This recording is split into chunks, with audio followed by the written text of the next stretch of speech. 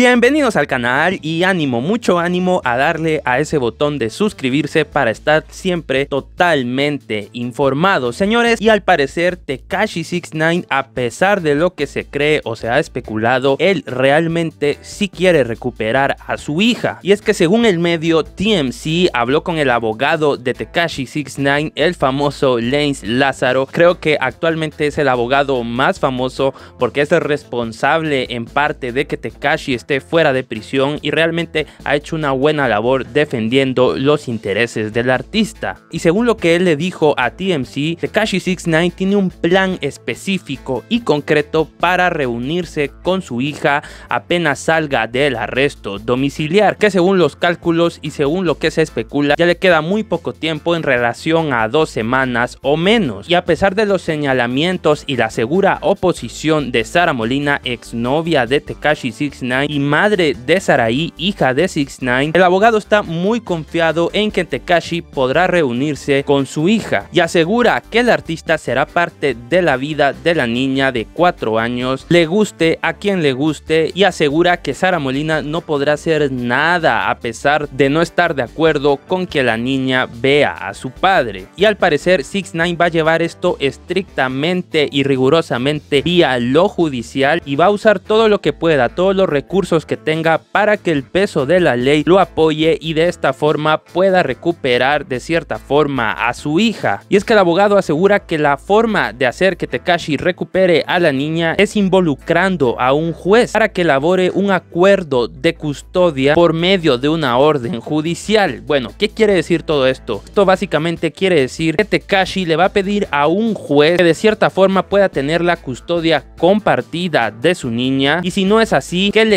exija a Sara Molina lo deje convivir con la niña cierto tiempo, que pueda verla, etc. Por lo general este tipo de casos son muy desgastantes para los niños, pero Tekashi quiere hacer todo lo que pueda para recuperar a su hija. Y bueno, están muy confiados que los reclamos y señalamientos de su ex novia Sara Molina no podrán hacer nada contra la petición que el abogado de 6 9 le hará al juez. A pesar de lo que se había dicho y se había especulado de que 6 9 era un mal padre, un padre desinteresado interesado, acusaciones y señalamientos que empezaron debido a declaraciones de Sara Molina donde lo pintó como uno de los peores padres de la historia. A pesar de todo eso, según el abogado, Tekashi 69 realmente tiene todo el interés de recuperar a su niña, de estar con ella, de estar para ella y si no lo había hecho antes, específicamente después de prisión, era porque no era nada seguro para la niña. Recordemos que 69 está bajo arresto domiciliar y que muy pocas personas realmente solo su equipo de trabajo saben su ubicación actual y al momento de que la niña llegara a visitarlo iba a ser muy riesgoso, no solo para la niña sino para el propio artista. Así que señores, un padre intenta hacer lo que sea para recuperar a su niña y si no la puede recuperar por completo, al menos para compartir con ella cierto tiempo. Así que déjenme saber en la caja de comentarios qué opinan de todo esto. Seguramente el juez le dará el beneficio a Tekashi 69, así que vamos a esperar. De momento el Instagram de 6 9 sigue desaparecido, pero en Savage News te estaremos trayendo todas las noticias relevantes. Así que no olviden suscribirse, señores. Eso es todo por hoy. Muchas gracias a todos por el apoyo. Hablo Savage y será hasta la próxima.